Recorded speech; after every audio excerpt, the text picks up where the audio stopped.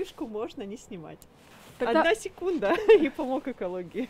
Делать этот мир чище Алена старалась и раньше, но это было сложнее. Собрать весь мусор, рассортировать, а потом развести по точкам сбора выходило дороговато. Зато теперь, когда контейнеры для сбора пластика стоят у каждого подъезда, ряды зеленых пополнили почти все жители дома.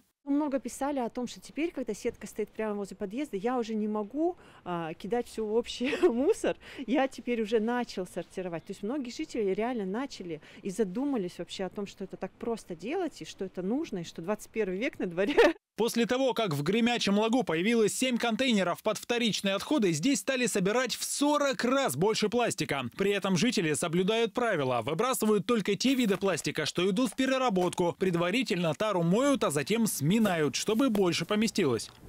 Дальше пластик едет на переработку. Это важно, ведь с одного контейнера выходит около 50 килограммов пластика в месяц, так что с одного двора 350 килограммов. Всего же с февраля собрано 103 тонны пластика, и весь он обрел вторую жизнь. Мы его собираем и разделяем по типам. Это очень важно. То есть помимо типов необходимо разделить его по цветам, чтобы максимальное количество переработанного сырья шло э, в те виды дальнейшего переработанного пластика, которые могут э, получить второе рождение в виде различных продуктов. Пластик перерабатывают в сырье – флекс. Из него делают, например, синтетическое волокно, которое пригодится для строительства дорог или домов. Достойное перерождение, если вспомнить, что иначе пластик провел бы на полигонах сотни лет. Это важно понять, потому что кроме самих жителей никто этого не сделает. Все начинается вот именно с этого с первого шага, с самого человека.